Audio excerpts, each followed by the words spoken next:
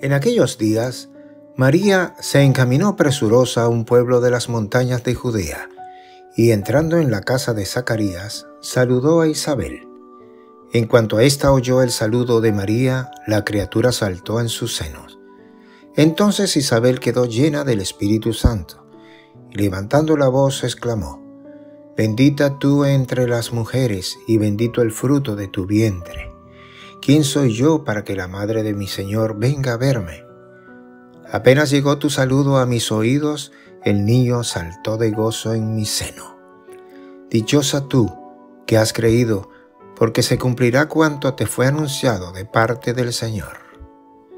Entonces dijo María, Mi alma glorifica al Señor y mi espíritu se llena de júbilo en Dios, mi Salvador, porque puso sus ojos en la humildad de su esclava.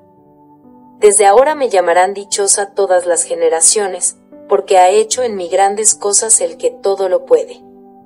Santo es su nombre y su misericordia llega de generación en generación a los que lo temen.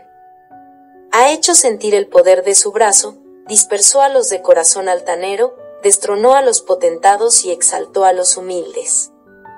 A los hambrientos los colmó de bienes y a los ricos los despidió sin nada.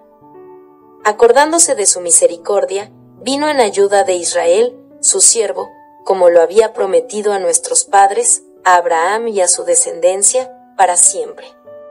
María permaneció con Isabel unos tres meses y luego regresó a su casa.